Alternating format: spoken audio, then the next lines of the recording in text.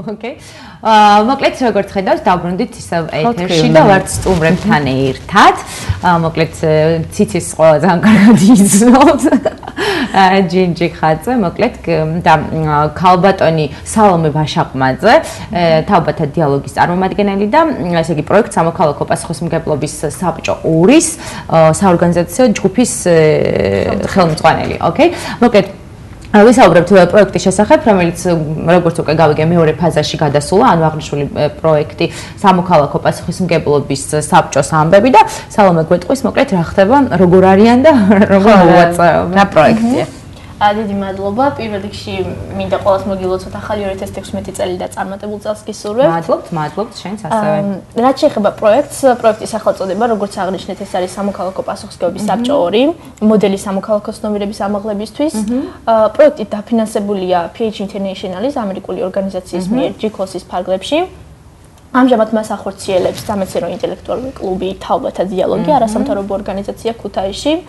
პროექტის ძირითადი მიზანი ეს არის სამართლებრივი ცნობიერების ამაღლება მოქალაქეებში და ახალგაზრდების დანაშაულის რისკისგან დაცვა სამოქალაქო პასუხისმგებლობის გაღვივებით. ამჟამად პროექტი მიმდინარეობს, მიმდინარეობის პროცესია, უკვე მეორე ფაზა დაიწყო აქტიურად. პირველი ფაზა დამთავრდა და სულ 7 თვიანია, ოქტომბერში დავიწყეთ პროექტი. ამჟამად პროექტში მონაწილეობას იღებს 40-მდე პირი.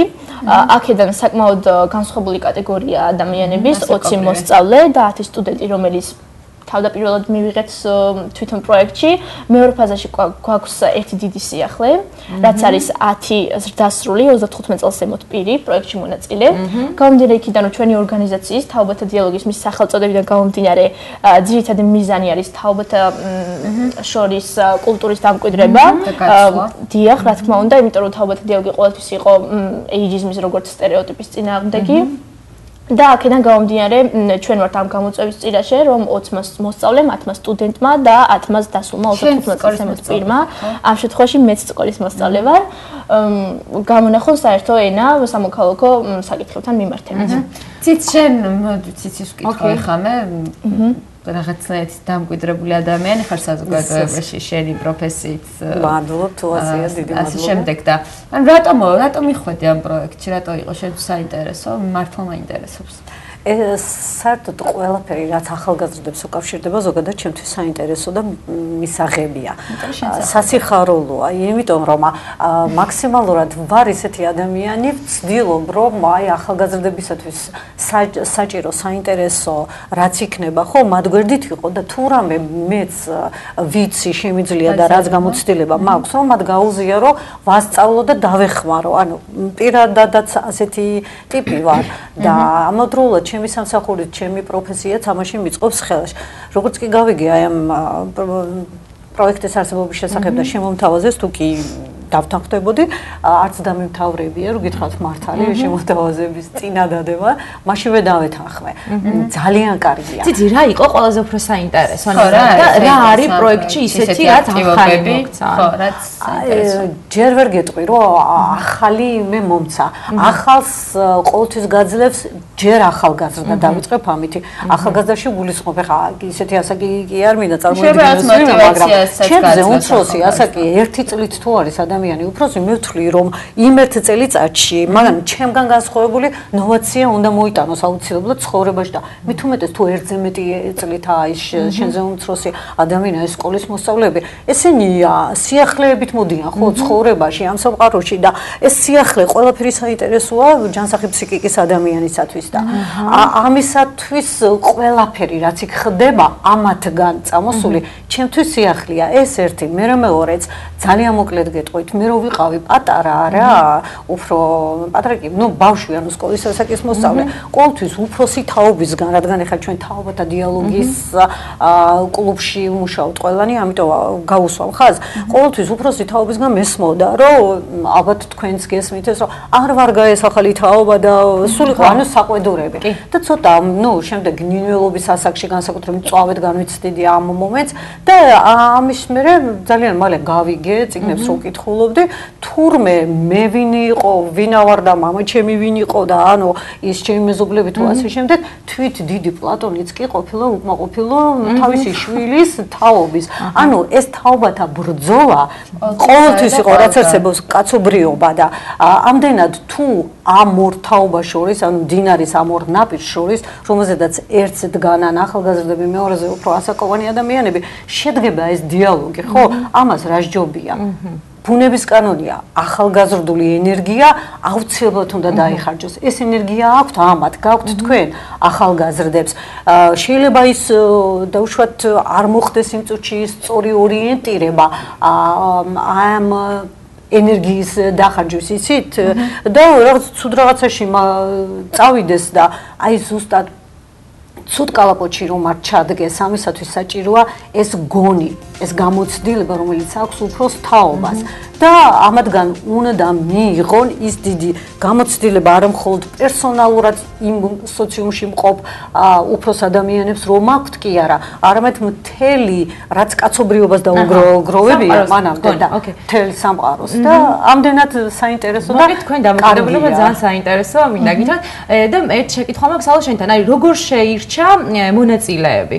ანუ როგორ მაგალითად აი რატოც იცი და რატო კიდე დანარჩენი სხვა ეს სიახლე მაგათ რომელსაც ლაპარაკობ როგორ შეიძლება მონაწილეთა სასაკებისა უბრალოდ საერთოდ როგორ შეირჩა 20 მოსწავლე 1000 სტუდენტის შემდეგ 1000 დასრულებული პიროვნება თავდაპირველად მიუხედავად იმისა რომ სამოქალაქო პასუხისმგებლობის საბჭო ერთი რომელიც უკვე დამთავრდა იქ შერჩება იყო საერთოდ სხვანაირი ეს იყო გასაუბრება რომლის შემდეგაც უკვე შეირჩა მონაწილეები მაგრამ ასაკობრივი არც ასე კი არც იქ არ იყო შეზღუდული თუ იყო არა სამოქალაქო პასუხისმგებლობის საბჭო ორში ეს არის ყველაზე დიდი სიახლე რომ 10 დასრული ადამიანი ემატება. იქ იყვნენ არა, იქაც იყვნენ მოსწავლეები და სტუდენტები, როგორც ეხლა. უბრალოდ აქ სიახლე არის ის, რომ დასული ადამიანები ემატებიან მეორე ფაზაში. ხო. აა მონაწილეები თავდაპირველად შეირჩნენ ჯეოკეშინგის საშუალებით. ჯეოკეშინგი ეს არის საველე თამაში, განძის მოპოვებას ეხება. აჰა. და გამარჯვებული გუნდები, გუნდებისთვის საჩუქარი იყო ეს პროექტში მონაწილეობა. აა, ანუ თამაშობდით, ესენც თამაშობდნენ. არა, დასრულები არა, ეს ეხება პირველ ფაზას. აა, პირველ ფაზაზე ლაპარაკობ. კარგი ბატონო. აა და ამის შემდეგ უკვე გამარჯვებული მონაწილეები, ორი გამარჯვებული სტუდენტთა გუნდი და დანარჩენი მოსწავლეების აგრძელებდნენ პროექტში მონაწილეობას. ძირითადი თემა ჯეოკეშინგის ეს იყო ნარკომანია. გამომდინარე იქიდან რომ ეს სამოქალაქო პასუხისმგებლობის საბჭოა და რომელსაც სამოქალაქო საკითხს უნდა ეხებოდეს ნებისმიერი თემა, რაც კი იქნება მთელს პროექტში.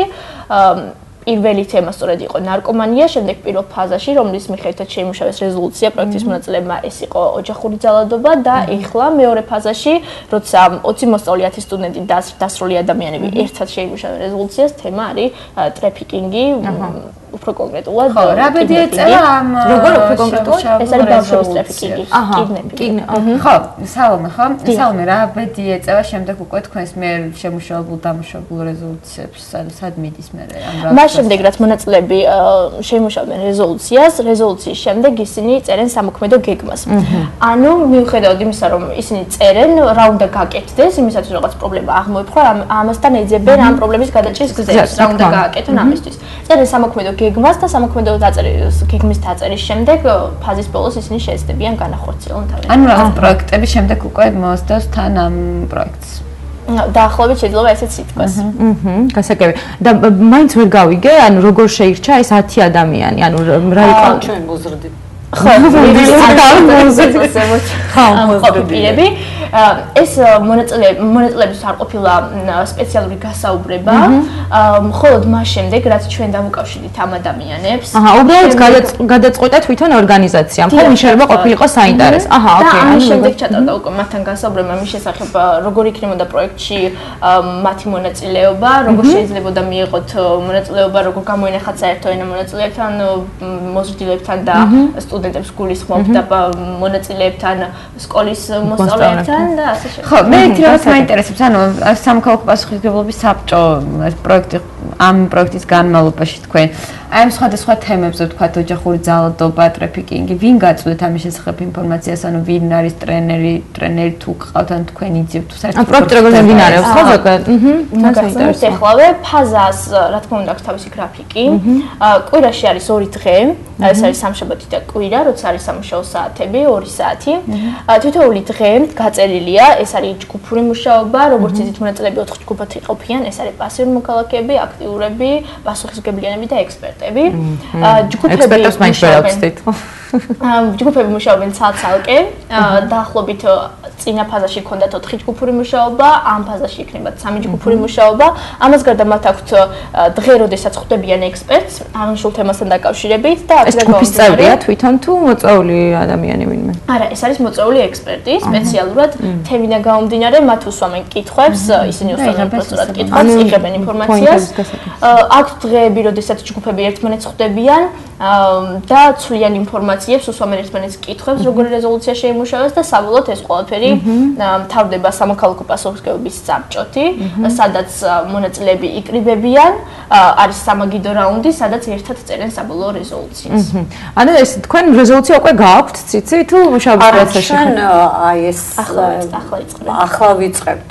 უბრალოდ ჩვენ გავეცანით, როცა იგივე პროექტი, იდენტური პროექტი დაიხურა წინა, ჩვენ ვიყავით მიწვეული იმ დახურვაზე და გავეცანით უბრალოდ ვისწრებოდით ყველაფერს და ვიცით როგორ ხდება თეორიულად და პრაქტიკულად ახლა ვიწყებთ მუშაობა ჯგუფებშიც განაწილებულები ვართ საინტერესოა ხო ძალიან ძალიან ძალიან საინტერესოა. მართლა აი მე პირადად მოხდი პასუხისგებლობის მქონე ადამიანების ჯგუფში.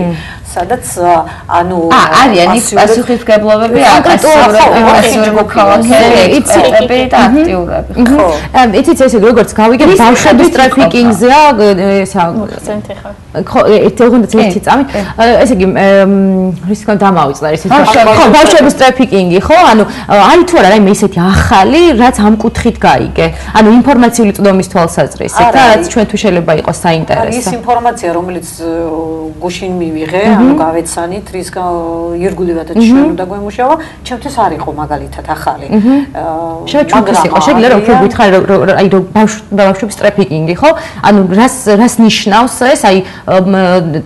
ტრაფიკინგი როგორ უნდა მიხვდე რომ ბავშვებს ტრაფიკინგის მსხვერპლი ან 12 წლის მოზარდი რომლის დედა იყო ავადმყოფი და мама არ მუშაობდა იწლებული გამხდარა წასულიყო სტამბოლში სამუშაოდ იქ წაიყვანა ვიღაცამ და როგორც ხდება ჩამოართვა პასპორტი და მოხდა არც თუ ისე სასურველ დაწესებულებაში სადაც აიძულებდნენ ვიღაც მამაკაცები ნუ ხდებით უკვე რაც უნდა ხო ისე და შემდეგ დაბრუნებულა ეს იქიდან გამოგცეულა და და ეს ნამდვილი ამბავია თუ მოიგონა? რეალური ამბავია, გამოქცეულა იქიდან და ნუ დედისთვის მოუყოლია, გაუგია მამა შემთხვევით და ნუ აქ დაიწყო პრობლემების ყველაზე დიდი კონკრეტული კონკრეტული кейს განიხილა თქვენ. ეხლა საერთოდ ეკითხეთ, ბოლო კითხვა ეხლა. ჩვენ რო ანუ შენ თქვი რომ პროექტში არიან მონაწილეები დაყოფილები არიან 4 კატეგორიად, ხო? პასიური, აქტიური ექსპერტები და პასუხისმგებლები, პასუხისმგებლები, აი რა რანაირად ხვდება ვიღაცა ნაკლებად აქტიურ მოქალაქეების კატეგორიაში. ანუ ეს არ არის განსაზღვრული თვითონ პიროვნებიდან გამომდინარე, რომ ეს ადამიანი შეიძლება რეალურ ცხოვრებაში იყოს აქტიური ამ ეს რაღაც თამაშები არის, ხო? ხო, ამას ვანაწილებს ჩვენ, როგორც პროექტის საორგანიზაციო ჯგუფი და კოორდინატორები, შემდეგ ხდება მათი ჯგუფებში გადანაწილება და მოკლედ ვიტყვი რა საკეთებენ ეს ჯგუფები. გამომდინარე იქიდან რომ მათი სახელწოდება არის სხვადასხვანაირი, შესაბამისად ის მათი რეზოლუციაც არის განსხვავებული თავიანთი პოზიციიდან გამომდინარე.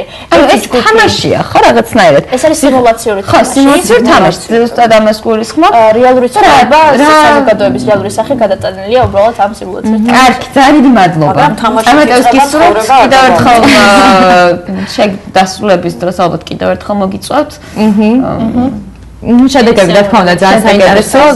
ციცი რა საერთოდ ხალხზე მაინტერესებს. ხო, აი, დიდები, ანუ როგორ მოვერგებით ამათ სიტუაციას. თქვენი გამოცდილება ძალიან საინტერესო იქნება, შენი გამოცდილება მე პირადად ვიცი და ამიტომ ზუსტად ვიცი, რომ ძალიან საინტერესო იქნება ამ თაობის ბავშვებისთვის. დააში დაგეშტევთ წარმატების გისურვებთ. მეც რა თქმა უნდა წარმატების გისურვებთ, მოკლედ პროექტის ბოლოს დიდი სიამოვნებით მოვისმენთ თქვენ შედეგებს. ჩვენ კიდე რეკლამის შემდეგ დავბრუნდებით.